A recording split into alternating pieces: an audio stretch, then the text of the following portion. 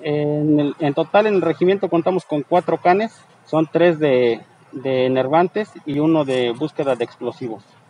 Es por lo regular, unos, el perro tiene un tiempo de resistencia de 20 a 30 minutos de trabajo. Eh, ahora sí que variando cada, cada este, tipo de perro, la raza, es también su, su capacidad de resistencia. Entonces, dependiendo de eso, es el tiempo de trabajo que llevamos diario con los perros. Los perros se tienen que adaptar diariamente para que se encuentren en un nivel óptimo de operatividad. Pues actualmente el, el trabajo que desempeñamos es en, en el aeropuerto de aquí de la ciudad de Reynosa y nos encontramos también apoyados por la Guardia Nacional, que ya cuentan también con binomios canófilos en los, en los puentes internacionales. Sí se llega a utilizar cuando este, se requiere para verificar áreas o, o zonas que pueden ser de, este, que pueden representar algún riesgo para algún tipo de eventos o también nos han llamado en ocasiones para efectuar algún, alguna revisión en áreas que se, se